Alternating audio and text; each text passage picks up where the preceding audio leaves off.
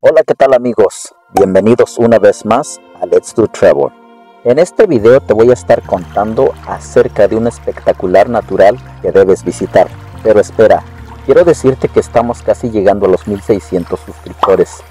Así que me encantaría que tú dejaras tu like, dejaras tu comentario y obviamente que te puedas suscribir a nuestro canal para que puedas seguir disfrutando de nuestro contenido. Ahora sí, vamos al video. Este precioso lugar son las cataratas del Niágara y hacen frontera entre Estados Unidos y Canadá, y más precisamente entre Nueva York y Ontario. Me gustaría contarles que también si viven en otras regiones del mundo, pues también pueden darse este lujo de visitar este maravilloso lugar. Ahora sí vamos a hablar acerca de esta atracción turística natural. Los saltos de agua son tan maravillosos que millones de turistas visitan este lugar.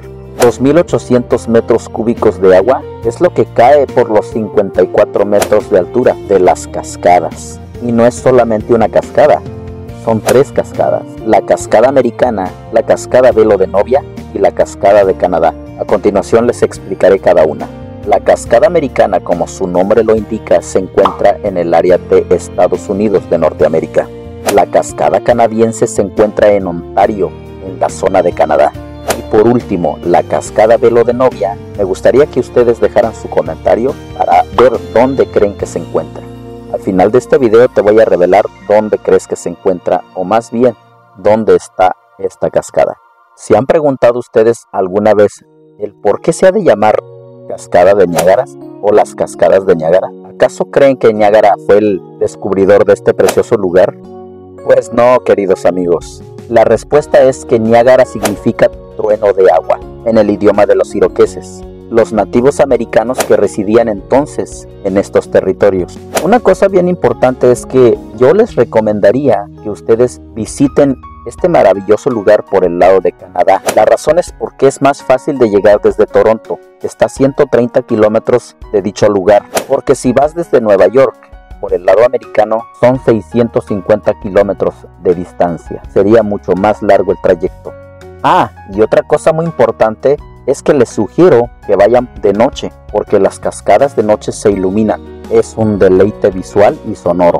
Existe un operador de viajes oficiales de las cuales te puede dar las vueltas en las cataratas de Niágara. Su nombre es Hornblower Niagara Cruises. Los viajes salen desde Clinton Hills. Por 25 dólares podrá maravillarse con tres cataratas durante el viaje, que dura obviamente 30 minutos aproximadamente. Viaje les regalan chabusqueros.